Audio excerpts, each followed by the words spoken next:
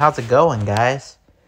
In this video, we're going to be talking about the canceled film, uh, crossover film that we were supposed to get in the early 2000s. And that is a Michael Myers versus Hellraiser movie crossover. Now, this movie obviously got canceled. I read some articles online about this movie um, that it was supposed to happen in the early 2000s, like before Freddy versus Jason and all that. Uh, I heard that they were going to do a Michael Myers versus Pinhead uh, film crossover movie, and I heard it got canceled. And the reason why I think it got canceled was because I don't think that they I don't think that they felt like it made you know that it made any sense. I I think they felt like it was kind of stupid to do that, especially if it doesn't make any sense. Um, but a lot of people thought that would have been cool to see a crossover like that because I think we need more of them, honestly. But it's kind of unfortunate, honestly, that it you know got canceled it would have been cool to see. But at the same time, I guess, I guess they made the right decision.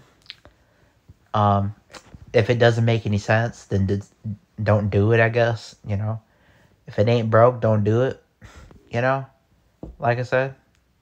Or if it ain't broke, don't don't fix it. Um, that's what I meant to say.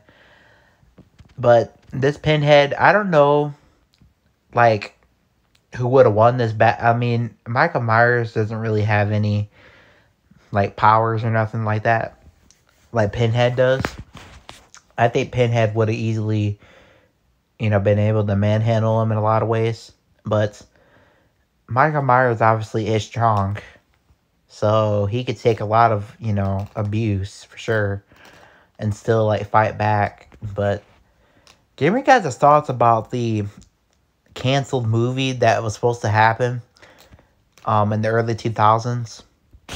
Um, because John Carpenter, I think, actually was talking about it in an interview, I believe.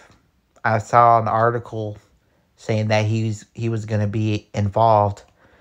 Him and uh, Clive Barker or whatever were going to be involved um, with it. But it didn't happen, obviously, because they felt like it didn't like make any sense. So they decided not to do it. But me your guys' thoughts about this movie, this canceled movie, and give me guys' thoughts and about like who do you guys think would have won, uh, Pinhead or Michael Myers? Because I know Pinhead's a different. I mean, he's got the you know those chains and all that. Um, he's got those Cenobites and all that. So I mean, I don't know who would have won. But let me know in the comment section who do you guys think like would you guys wanted to see this movie if it, you know, do you guys wish it wasn't canceled?